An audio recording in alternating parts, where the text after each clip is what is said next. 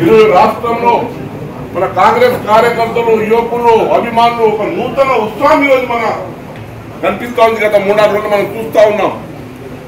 మరి రేపు తప్పకుండా మాకు ఒక విశ్వాసం ఈరోజు ఏర్పడ్డది.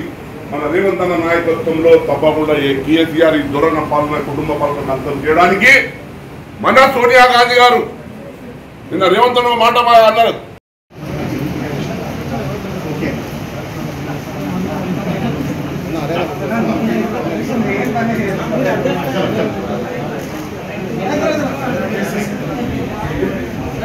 ఒక మాట మా- అన్నారు ప్లీజ్